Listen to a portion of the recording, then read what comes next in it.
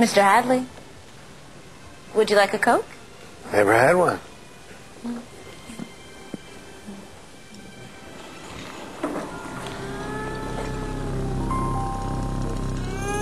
What else haven't I done? Hello? Doris? I've always loved you.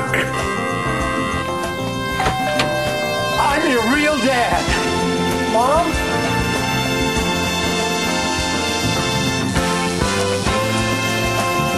Nice.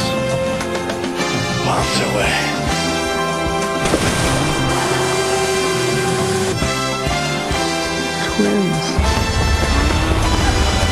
Mr. Hadley,